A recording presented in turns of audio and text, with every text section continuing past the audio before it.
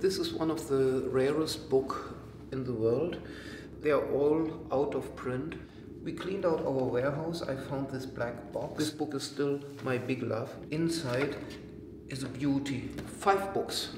Beautiful paper, real rarity. I know exactly how we have created it so perfect. I'm very proud about this one. Good luck for you that this book is now available in a few copies as a limited edition. It was one of my best books I ever did. Two copies left for dedicated book lovers at Steidl Discoveries.